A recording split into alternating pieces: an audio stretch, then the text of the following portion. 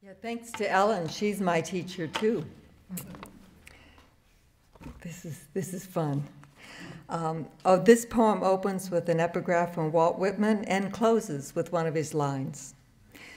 I am larger than I thought. From Poem of the Open Road. A moment burrows beneath my skin, sowing ferment in each thought. I am born, born in the matrix of promise and memory. Like a tree, I have no word for should. I simply wrestle day by day with the dignities of earth and water and air and light, bearing witness to a labor begun when I chose to say, Yes, I want this. Send me forth, my feet already stained with passion. I did not know I held so much goodness.